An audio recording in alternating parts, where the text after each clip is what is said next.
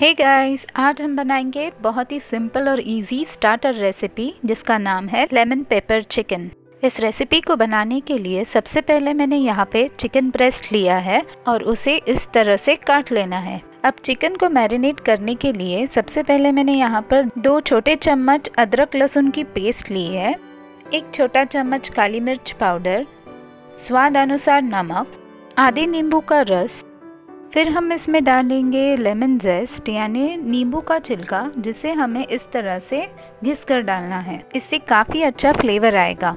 अब सब कुछ अच्छी तरह से मिलाकर चिकन को मैरिनेट होने के लिए रख देंगे आधे घंटे के लिए फ्रिज में।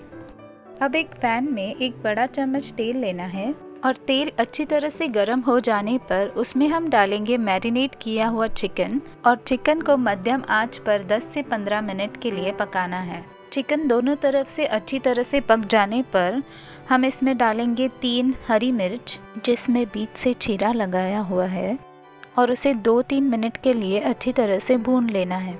अब हम इसमें डालेंगे दो कप पानी, दो छोटे चम्मच मक्खन, और जो बचा हुआ मैरिनेशन है, उसे भी हम इसमें डाल देंगे।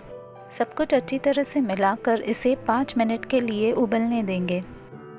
फिर एक छोटा चम्मच कॉर्नफ्लावर में इसमें से थोड़ा स्टॉक डालकर अच्छी तरह से मिलाकर इसमें डाल देना है। अब इसे फिर से चार से पाँच मिनट के लिए पकाकर गैस की फ्लेम बंद कर देनी है। अब गैस की फ्लेम बंद करने के बाद हम इसमें डालेंगे दो स्लाइस किए हुए नींबू।